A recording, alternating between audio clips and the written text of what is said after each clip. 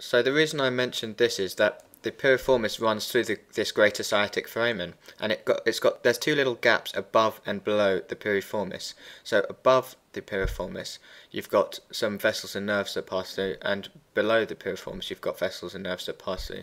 So importantly, below the piriformis, you get the sciatic nerve, and above, you get the superior gluteal nerve and vessels.